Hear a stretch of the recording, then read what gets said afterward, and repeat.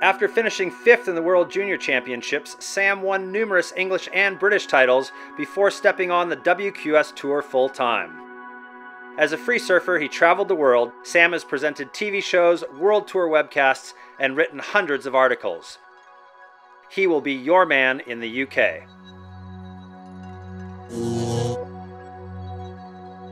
The UK for coaching is perfect. It's an island, which means no matter what the waves are doing, no matter what the wind direction is, no matter what the tide is, we can always find somewhere. We can always find a good beach, a good reef break to go and do some coaching. What are you waiting for? Come down and we'll get you surfing to that next level.